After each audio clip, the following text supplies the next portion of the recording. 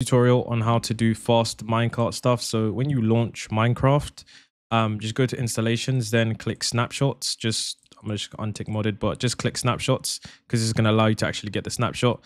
Then just click edit. So then go to the latest snapshot, which is whatever the latest snapshot is. This is 24 WRRA. And then I'm going to go on um, this one and I'm going to just click play. So snapshots, edit this, and then click play. And then let me just save this. So I'll just click play here. So we'll just wait for this to load up.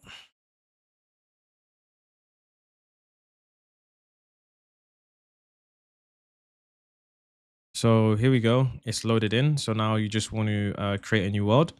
And then this is actually where you want to do it. So we want to do mine carts. It doesn't really matter what you call it, but do creative. Then uh, scroll down to experiments. Then you can see bundles. Just uh, you can see minecarts. Just basically put um, minecart improvements on, and then that's what we're gonna do. So we're gonna click done. We're gonna do minecarts tutorial.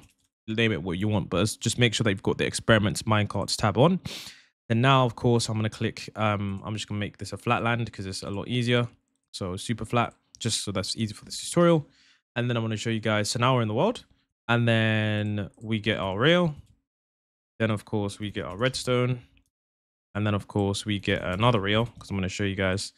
Um, and then we of course get our minecart. So now that we have that stuff, we want to do slash game rule.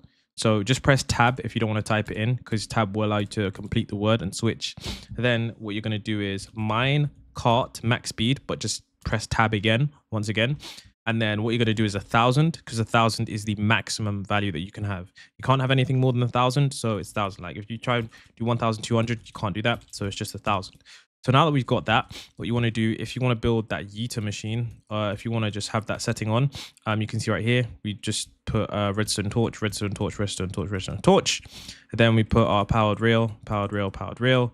And you can see here now, if I put this powered rail on, um, you can see now that this is going to go a lot faster than if it was just completely normal. So uh, yeah, if I put a villager in, he's going to go uh, like a particle accelerator. So I want to make this tutorial because uh, people weren't telling me how to do this. I don't wanted to know how to do this. So uh, once I did find out, wow, he's like glitching out. There's two of them. Wow, that's insane. So this is as fast as it can go. But if you guys uh, enjoyed the video, see you guys in the next one.